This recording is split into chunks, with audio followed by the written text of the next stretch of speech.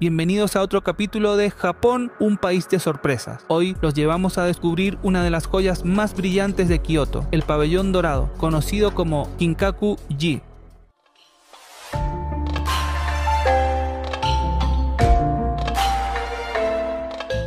Con un simple viaje en bus desde el centro de Kioto puedes llegar a este impresionante lugar en aproximadamente 40 minutos. Y finalmente ingresamos a Kinkaku-ji.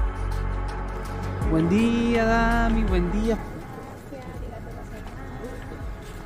Estamos acá entrando a Pabellón Dorado aquí en Kioto. Antes de entrar, pasamos por un jardín clásico, meticulosamente diseñado, que nos envuelve en un ambiente de tranquilidad y conexión con la naturaleza. Y al continuar por el sendero, el imponente portal de entrada se alza ante nosotros y nos invade una profunda sensación de gratitud por estar aquí.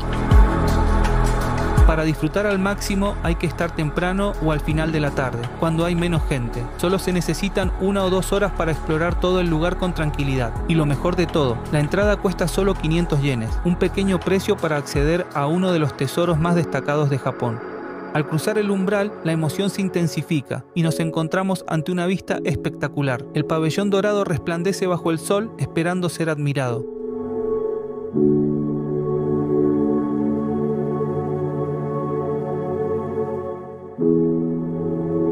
Pero su deslumbrante apariencia es solo el comienzo de su fascinante historia. Y aquí estamos, disfrutando de este lugar de cultura, rodeados de encantos y serenidad. No hay nada como estar aquí en persona y sentir la energía de este increíble templo. Ahora hablemos de la historia y arquitectura del Kinkaku-ji. Construido en 1397 como residencia de descanso para el shogun Ashikaga Yoshimitsu, se transformó en un templo zen de la escuela Rinzai tras su muerte, cumpliendo con sus deseos. A lo largo de los siglos, ha sobrevivido a varios incendios, siendo el más reciente en 1950. La estructura actual es una fiel reconstrucción de 1955 que preserva su diseño original. Este majestuoso templo se divide en tres niveles, cada uno con un estilo arquitectónico diferente.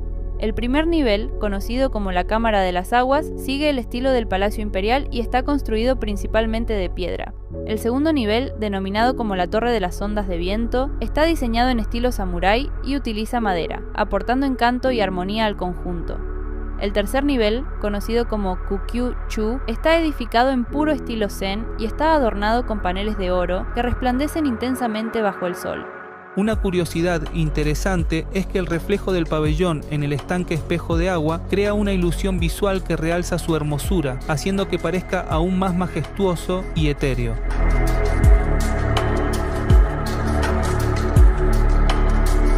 Al seguir nuestro recorrido dejamos atrás la estructura dorada y entramos en el sereno jardín que la rodea. Aquí, cada paso nos invita a conectar con la naturaleza. Entre los elementos más interesantes encontramos el islote de la suerte, donde los visitantes lanzan monedas hacia una pequeña isla de piedra, siguiendo una tradición que promete buena fortuna. Si te ha gustado este recorrido, no olvides explorar todos los videos que estamos creando sobre Japón. Cada rincón de este país es una sorpresa y queremos compartir contigo cada descubrimiento.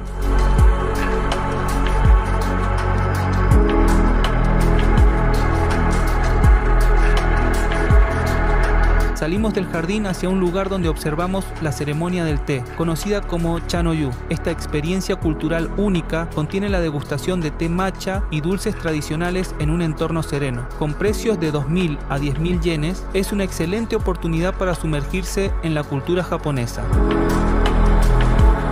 Nosotros decidimos disfrutar de una versión fría del té especial, conocido como Kimpaku Cha. Este tiene pequeñas láminas de oro comestible, ofreciendo una sensación única, aunque tradicionalmente se sirve caliente. Perfecto para relajarse y disfrutar del entorno. No, qué rico, es frío. Con cada paso nos despedimos de este lugar, reconocido como Patrimonio de la Humanidad desde 1994 y una visita imperdible para quienes llegan a Kioto por primera vez. Pero antes de partir nos damos un último gusto. Compramos unos helados en una máquina. Y adentro tiene el helado.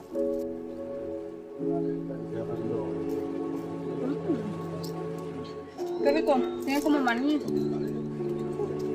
Está buenísimo. Este ha sido el pabellón dorado aquí en Y esto es el No se pierdan el próximo capítulo de Japón, un país de sorpresas, donde continuaremos explorando más maravillas de este fascinante país. Nos vemos y hasta el próximo video.